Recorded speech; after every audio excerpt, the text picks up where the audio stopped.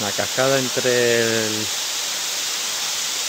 túnel de los galguitos con el de las domadas.